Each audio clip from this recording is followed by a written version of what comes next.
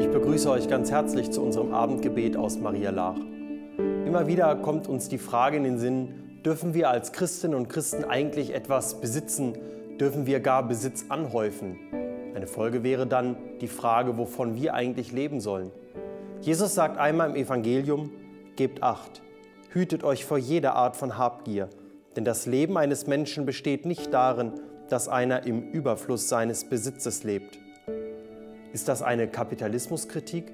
Ist das eine Kritik daran, überhaupt etwas zu besitzen? Ich denke nicht. Es ist eine Kritik daran, wenn einer immer mehr und mehr anhäufen will und letztendlich überhaupt nicht mehr weiß, was er mit dem ganzen Vermögen, mit dem ganzen Besitz, mit den ganzen Dingen, die er so hat, tun möchte. Und wir kennen das vielleicht auch aus unserem eigenen Leben. Es geht nicht nur um Reichtum und vielen Besitz. Wie viel Müll habe ich in meiner Schreibtischschublade? Wie viel häuft sich doch immer wieder bei mir an? Und wie gut tut es, ab und zu mal aufzuräumen? Das, was von Dingen dieser Welt gilt, von Dingen auch auf meinem Schreibtisch, das gilt auch von den Dingen, die in meinem Herzen sind.